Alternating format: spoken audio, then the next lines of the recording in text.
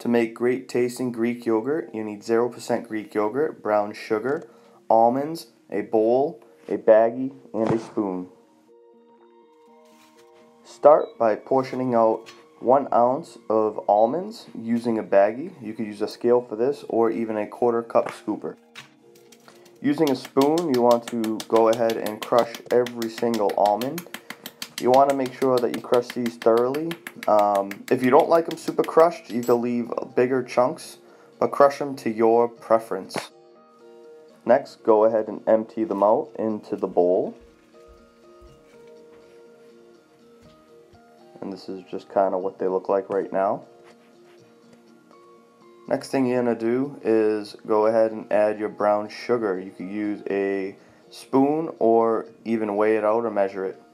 Next, add about 8 ounces of Greek yogurt into your bowl. You could use a 1 cup scoop or I'm using a scale here. Next, you're going to mix thoroughly. Make sure you get all the sugar clumps out. And enjoy. High protein, low calorie Greek yogurt.